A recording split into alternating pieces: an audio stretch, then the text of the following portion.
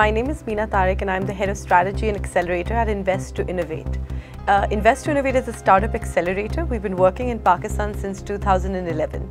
We work with startups और मैंने undergrad business में to when मैंने realized किया entrepreneurship एक ऐसा subject था जिसमें मुझे interest So uh, तो मैंने Fulbright apply I actually went on my Fulbright. I did my MBA from Babson College and Babson is world number one in entrepreneurship uh, uh, globally. So it was just a fantastic place to be in and I think that's where I truly got um, you know, caught the entrepreneurship bug. And I came back to Pakistan and I've been working with i2i since. The Global Entrepreneurship Summit was just absolutely fantastic. Uh, India में हुआ है जो हम वहाँ से networking करके आए हैं that is panning out. We met investors over there. Uh, we met people from across the world who want to partner with us. So it was just overall it was a fantastic opportunity.